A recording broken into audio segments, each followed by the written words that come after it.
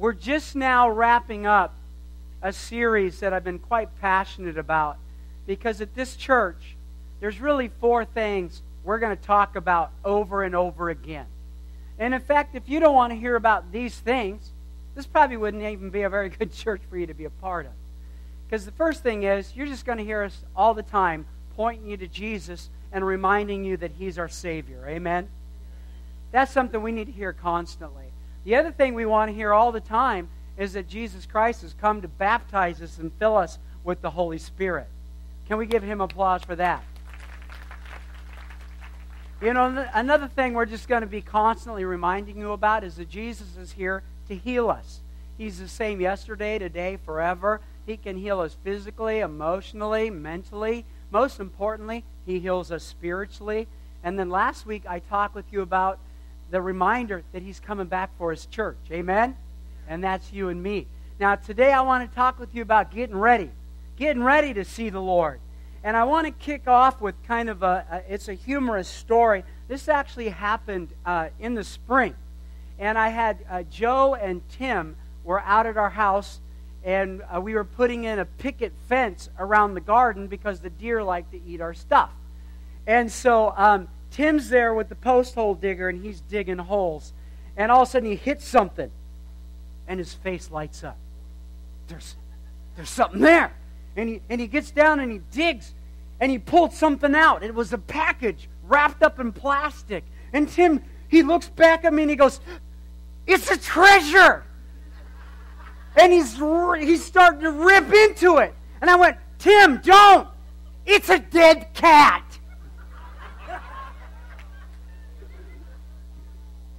The lady that lived there before, she was a cat hoarder. Oh, by the way, when I tell him it's a dead cat, he goes like this, ah, and he throws it. and dead cat wrapped up in plastic goes flying across the yard. It was pretty funny. You had to be there for that. The lady that lived there before, she was a cat hoarder. And her answer was anytime the cat died, she'd wrap him in plastic and bury him in the backyard. And so Tim found the treasure.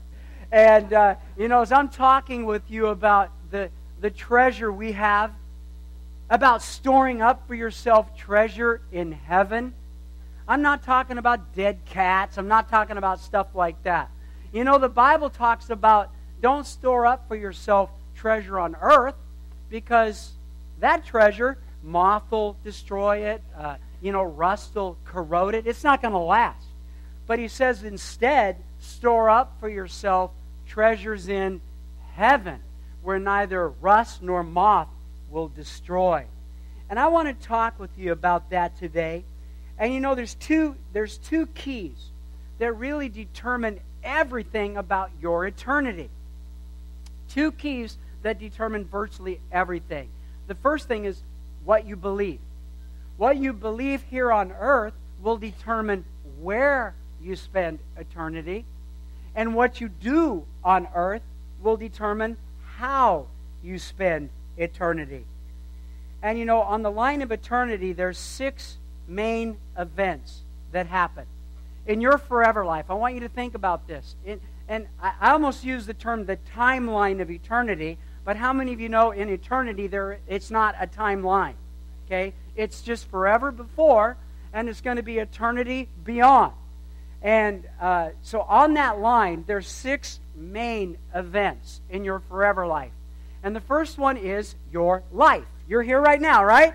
So you're in the first one. If you're happy to be in the first of the six, give the Lord an applause for that. It's your life.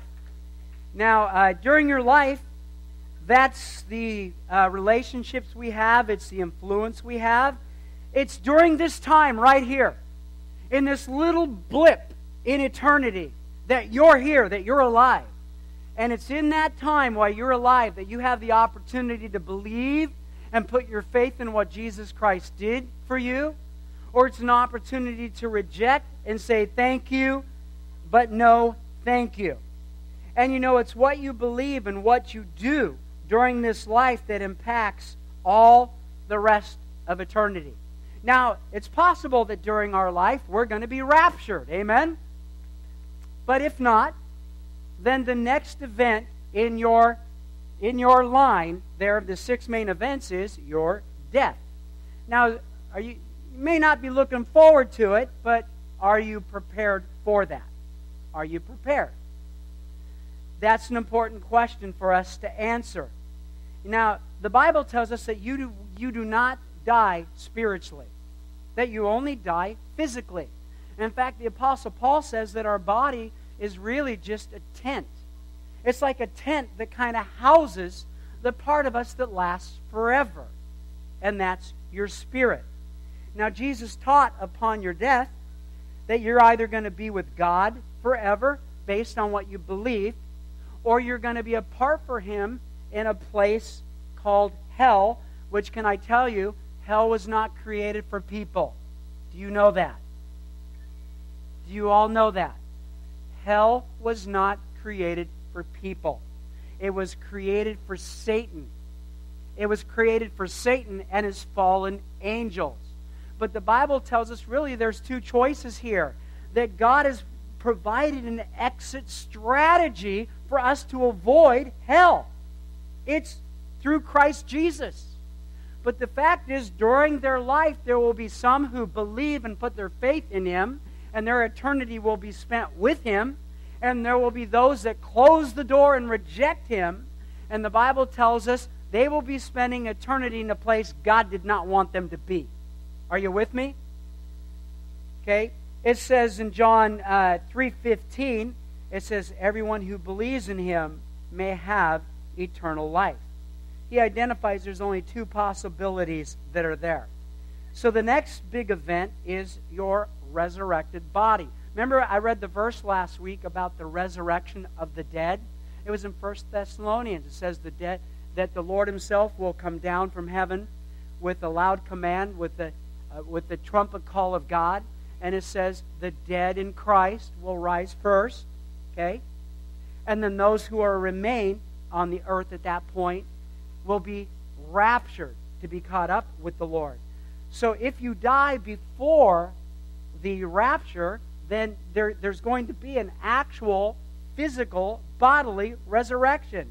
In John, it says this A time is coming when all those who are in their graves will hear his voice and come out.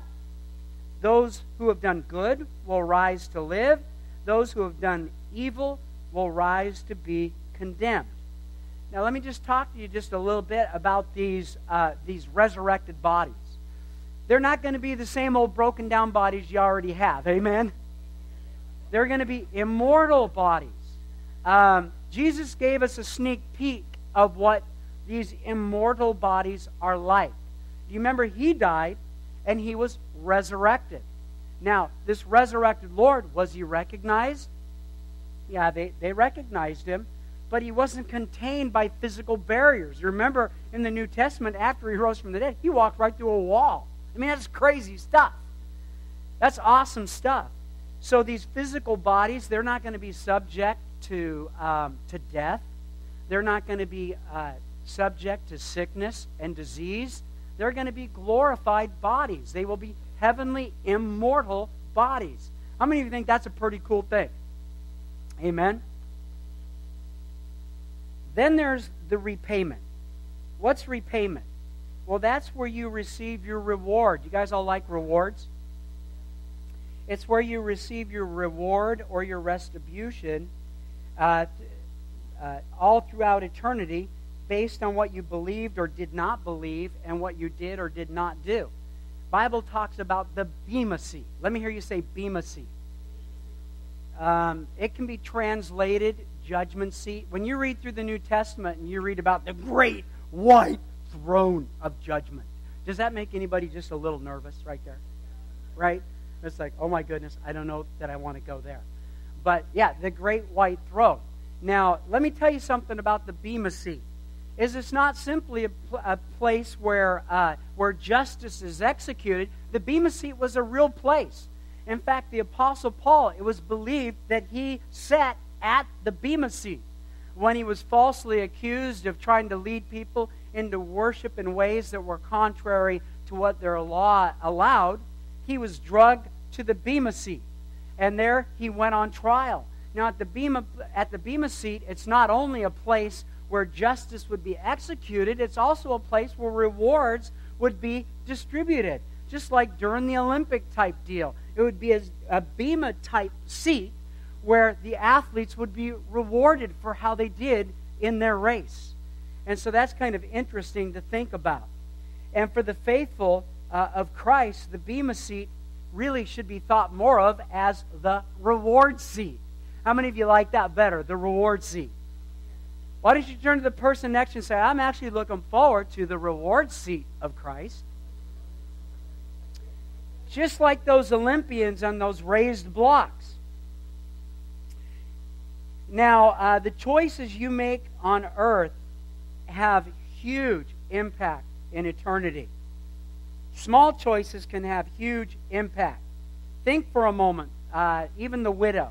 You guys know the story of the widow, and she gave two widow's mites, which wasn't even like two pennies. But the Bible says it was all she had, and that she gave all she had. And then he goes on and says that she would be greatly rewarded in eternity. Let me go ahead and uh, draw something here. This here's the line of eternity right there. It was there before you, it will be there after your life on earth. And in this line, there's one little blip right in there. It's where you're at right now. Can you guys see that? That's your life. And I want you to think about this for a moment because this is pretty radical stuff. Because it's what you believe and what you do during this little blip on this line of eternity that will affect your entire future eternity. And the challenge is this often we want to live for the live for the dot. It's all we see. We just see where we're at right now. And we think life is all about, boy, I want to acquire wealth. I want to get bigger and better houses. I want new cars. I want this. I want that. And I got news for you. Those things, in and of themselves, are not bad things. The challenge is those things won't make it out of the dot. Those things aren't carried out into eternity. How many of you know you're not going to be driving your BMW down the pearly, you know, down the golden streets of heaven, right? Your, your BMW ain't going there. Okay? It's not going there. And so the challenge for us is to not just look at the here and now and say, gee, what can I do to make my life comfortable here and now? But to believe and live and make choices that will outlive the dot. The challenge is to not live for the dot, but to live for the line. Live for what will impact your eternal life. Amen? Now, for most of us, that dot represents 70 years, give or take a few. You know, it's what you believe or choose not to believe during that dot that will impact that will impact your eternity. So I want to talk with you a little bit about preparing for that awesome day. Preparing for that awesome day when you're going to see the Lord face to face. Now, runners do not show up to the race wearing a backpack, wearing hip waders. Uh, you know, we took the youth group to the beach a few weeks ago, and it was the day before the Hood to Coast runners uh, were going to be showing up at Seaside. Did anybody see my picture I posted? And, and they had the finish line there. I thought, oh, this will be good. This will be good. Joey, get a picture of me going across the finish line you know. And I made some snarky post because I had some friends running in the race. I said, hey, man, I'm really sorry to tell you this, but I was at the finish line a whole day ahead of you. Now, I didn't tell them I ran, I ran there. One person took the bait. How long did it take you to get there? Mm, about two hours. And then about, about run about 15 feet. That was it. Well, and then where was your team? Well, they were on the bumper cars. I love it. That was funny. That was pretty funny. But you know, runners, uh, of course, somebody commented on that. Yeah, sure. And you ran the whole way wearing your blue jeans and your, you know, whatever. You know, because he knows nobody's going to show up to race day wearing their blue jeans and you're going to dress for the race, right? You don't run the race with your backpack on and your hip waders and hauling all your stuff. What you do is you want to lighten the load. And this is what it says. It says, since we're surrounded by such a great cloud of witness, would, witnesses, would you read the underlines with me? He said, let us throw off everything that hinders and the sin that easily entangles, and let us run with perseverance the race that's marked out for us. I want you to think about this for a moment. What hinders you in running effectively? Do you have toxic relationships that constantly pull you back? That's good. You don't need that. You don't need that. Are you tangled up in some addictive lifestyles? Okay? What he's talking about is throw the stuff off. Throw the stuff off because this is our only chance. This is your blip. This is your only this is your only blip on, on the line of eternity for you to make a count. So throw off everything that's going to hinder you, the sin that entangles you, and run with perseverance. Because the way that we run this race, it's what we believe that gets us to heaven, but it's how we live that determines the rewards that are received once we're there. Do you understand what I'm talking about? The Bible talks about these awards that are there for us. In races, you know, athletes, they're not awarded, uh, rewarded during the race. You don't have a guy running around the track and they're running out putting a gold medal around his neck. No, it's once the race is completed, it's then they call them forward and reward them. And how many of you know why we're running our race on earth?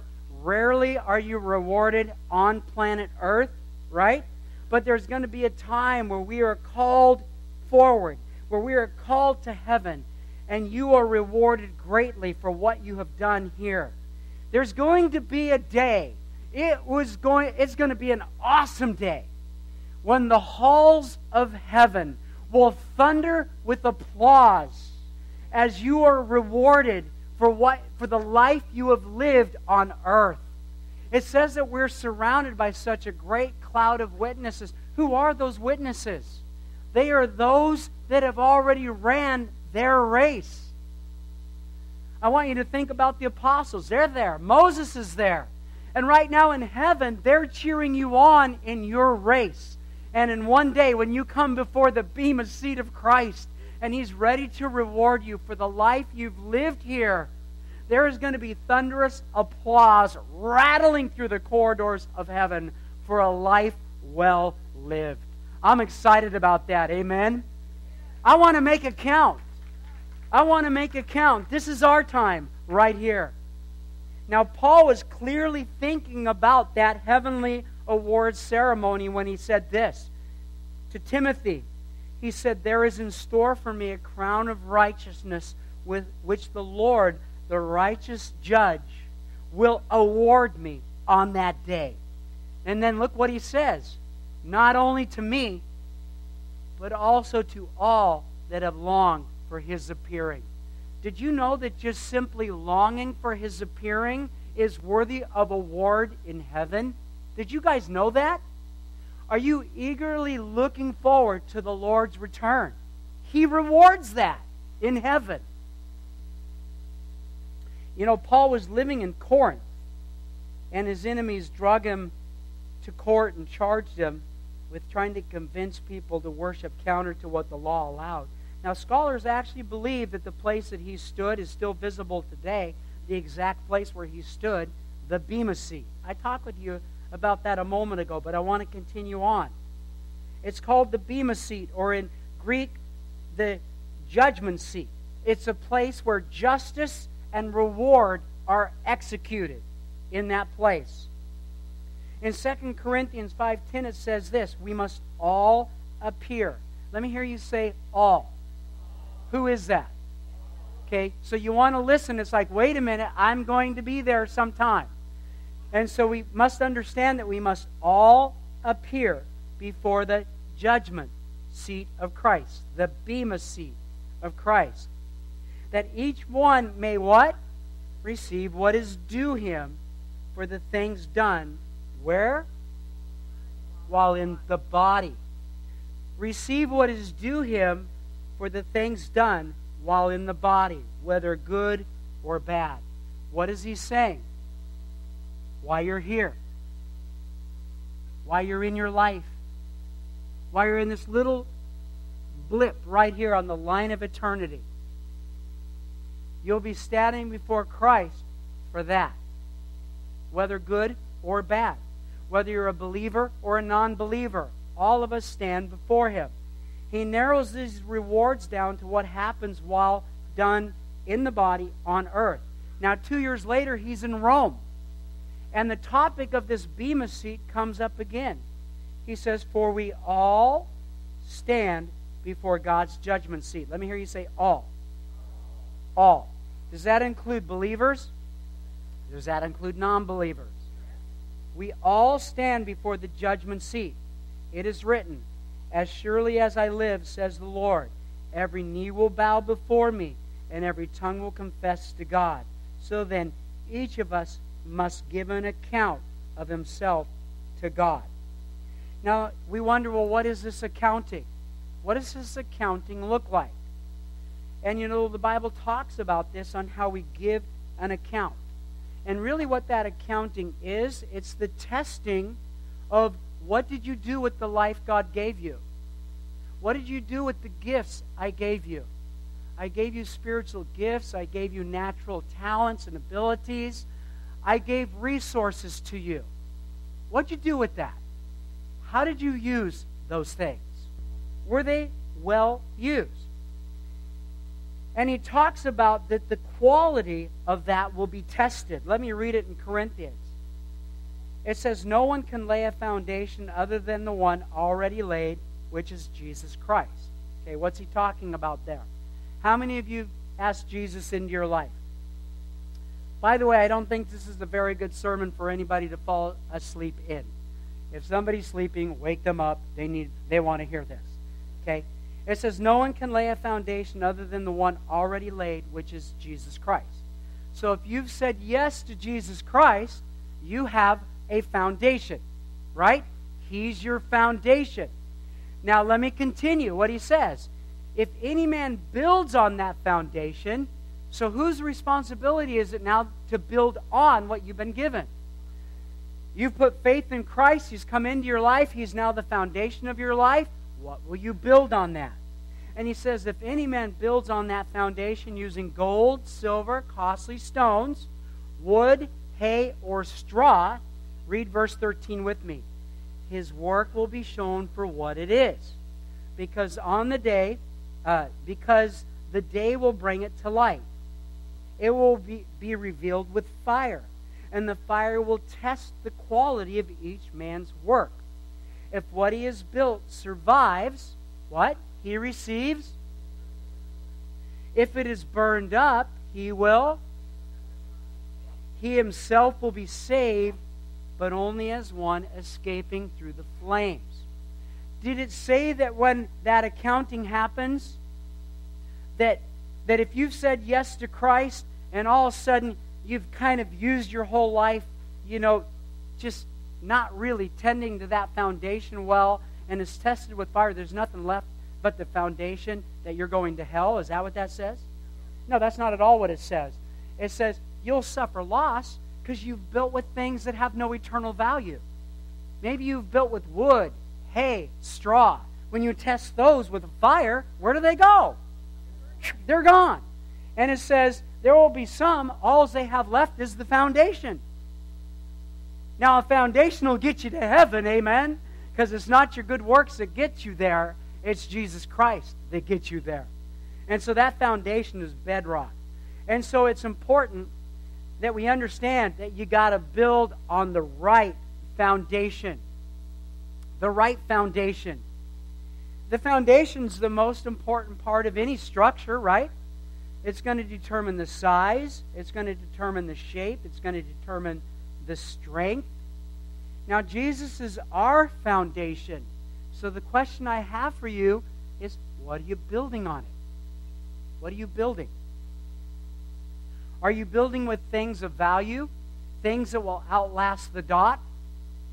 Gold, silver, costly stones, things that are rare, things that are hard to attain, things that, when tested by fire, become more valuable. Things that, when you build with those things, they will be carried on into eternity. Are you with me? But when you build with things that lack value, if the whole pursuit of your life is self orientation, bigger and better, more money, more this, more that, that's wood, hay, and stubble.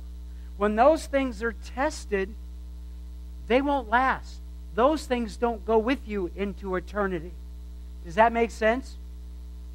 And so it's important that we build on the right foundation with the right stuff. We want to build on the foundation with things that will outlast us. You know, one of the things that this church is so great about doing is caring for other people. You feed homeless, you give coats to those who have none. I'd mentioned earlier that the best program our church has is the fact that we just believe that spirit empowered people go out and live lives out there. And when you encounter the broken and suffering, you don't invite them to a program. You invite them to an encounter with Jesus Christ on the spot. And every time you make an investment in a human being, that is gold. That is silver. That is precious stone. When you make an investment in human beings who last forever, you are now living beyond the dot. You are living for things that will outlast in eternity. Amen? Let's give the Lord applause for that. The next thing is you want to build according to the right plan. How many of you have ever uh, built a home or built a structure? Raise your hand if you've ever been a part of building. Okay, Terry, what's what do you follow when you're building? You follow a blueprint. Now you don't get a blueprint and go, "Oh, that's nice. There's the foundation. Uh, let's build it over here." No, that doesn't work. You know, the engineers and the architects, they've decided this is this is the shape of the building. This is how tall the building can be. This is what's necessary. So if you're going to build, you need to build according to the right plan. Now, did you know that God has a blueprint for your life? God has a plan for your life. And for a lot of folks, they want to tend to build on the things that are going to bring promotion, bring prestige, bring influence. But God has a purpose for your life that's a lot bigger than that. God's purpose is that you'd walk in intimacy with Him, that you would be a spirit led person, that you would be a person that loves God with your whole heart, with your whole soul, your mind, and your strength, and that you love your fellow man as yourself. God's plan for your life requires personal sacrifice. God's plan for your life means putting God first, and in many cases, putting others first. And that's not a good, that's not a popular blueprint for people on this earth. But for us as followers of Jesus Christ to understand we're not living for the dot, we're living for the line. It's important that we live, that first off, we, we have the right foundation and we build according to the right plan. His plan. God has a purpose for your life. And it's important that we find out what that purpose is. Amen? We build according to His plan. And then the last thing I want to say is you want to build according to the right motive. Our acts of service isn't so I can get more attention, so that everyone can applaud me and say, Look at everything I'm doing for, for Jesus. Isn't that awesome? Now, I called Shamika and, uh, and Renee up here, and we said thank you uh, to them but the fact is, they would have been happy to go the next 20 years without anybody saying thank you to them. Because their motive isn't your recognition, their motive is to honor the Lord. And everything we do needs to be to honor Him. Amen? When we understand that, you can do ordinary things. Even simple, ordinary acts and activities can bring glory to God.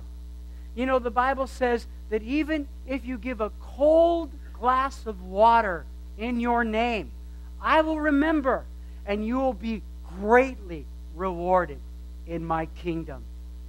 God doesn't forget a single thing. Amen? For the believer, you don't have to fear the Bema seat, it's the reward seat. But we ought to be mindful that the rewards we receive and where we spend eternity is all contingent on what we believe and what we do while in the body. This affects your forever life. And so we want to live lives that reflect that. Now, Paul said something that makes people very uncomfortable. And I addressed it, but I want to readdress it. He talked about suffering loss. Russ, could you find that verse again and put that up there? He talked about suffering loss. If it's burned up, he will suffer loss. He himself will be saved, but only as one escaping through the flames. What is he talking about? What is he not talking about? He is not talking about you losing your salvation. Hallelujah. If you said yes to Jesus Christ, that foundation is, is rock solid. That's not at, at, that's not at risk. But there will be many who do suffer loss at the Bema seat when the works of their life are tested with fire because their works were wood, hay, stubble. They were things that really didn't matter outside of the blip on the timeline. So they suffer loss.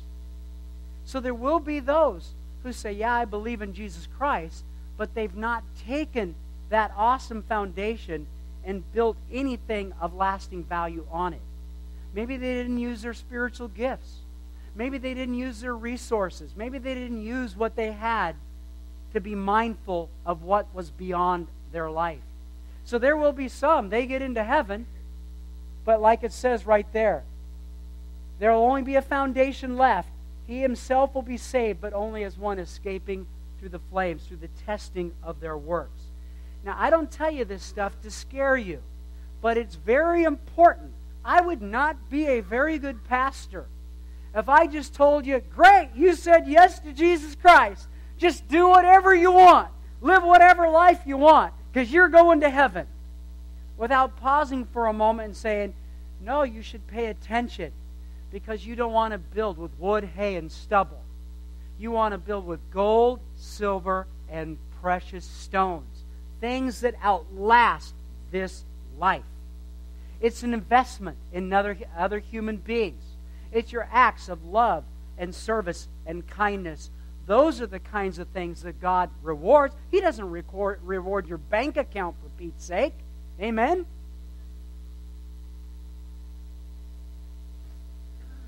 And some of you said, Good, that's really good news. Let me wrap up by saying a couple of things here even though there will be loss at the Bema seat for some. And there'll probably be some loss for me too. I'm sure, I call it accessorizing. Probably all of us do some accessorizing. It's just kind of fluff, but it's things that don't matter. I'm sure there's going to be things in my life that the Lord will burn those things away. It's like, that don't need to go into heaven with us. That don't need to go into eternity. So there will be some things left behind. There will be some things left behind for me, and there will probably be some things left behind for you as well.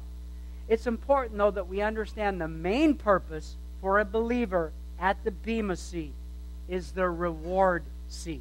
It is the reward seat. And by the way, man, if all I do is just get there, that's pretty good. I'm in heaven. Amen. But God wants more than that for you. He wants more. You know, the Bible says that at that moment that he will wipe every tear from your eye. I'm not sure exactly what that moment might be like, but when he says, I'll wipe every tear from your eye, there might be a moment where we say, Wow, I could have done more with my gifts. I could have done more with my resources. I could have done more with the opportunities. But the Lord says, yeah, but that regret stops right here. That's not going with you into heaven. I'm going to wipe those tears of regret from your eyes so that you can enter into my kingdom and you can fully enjoy the love and the relationship, all that I prepared for you. What a gracious and kind and merciful Lord we, we worship. Amen.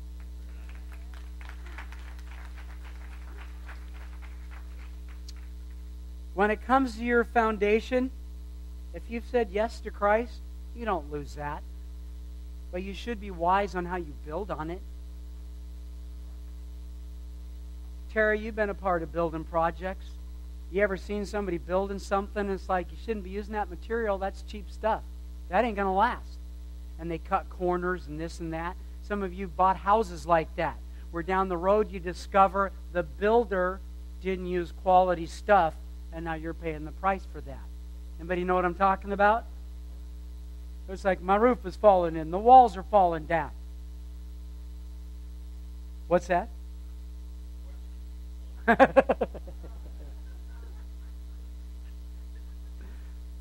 you heard it here, ladies and gentlemen. And can I just tell you, we want to build with the right motive. The right motive. Let me say this. We don't do good works just so I can get more rewards in heaven. The right motive is God, I want to do things because it becomes an expression of my love and my worship to you. When you do it with the right heart, it has sustainability. When you do it with the wrong heart, it'll burn you out. Anybody know what I'm talking about? I'm going to ask if we could bow our heads together. Jesus, you're our Savior. You're our baptizer in the Holy Spirit. You're our healer. And you're our soon coming King. There's going to be a day where we will stand before you. Just like those runners. They're not rewarded while they're running around the track, but they're called forth. And there's going to be a day that you're going to reward us for the things that were done while in the body. And I pray, Lord, that we'd understand that and begin to take it serious. And we'd, we'd be mindful to, to, to what we do with our lives, and it would be gold, silver, and costly stones when it comes to it being tested, when it comes to the accounting that's coming. I pray for that.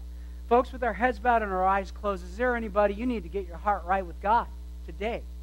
Maybe you've never asked Him in your life, or maybe you have at some point, but it's time for you to recommit yourself to Him. There ain't no better day than today for that.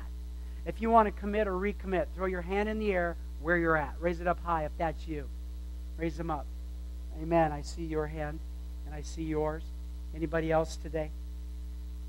I see yours and yours. Over here, I see your hand. I see yours in the back. Church, can we pray together? Dear Lord, I receive all you did on the cross for me as a payment for my sin. Fill me with your spirit. Empower me to live for you. And help me live a life that reflects my devotion to you.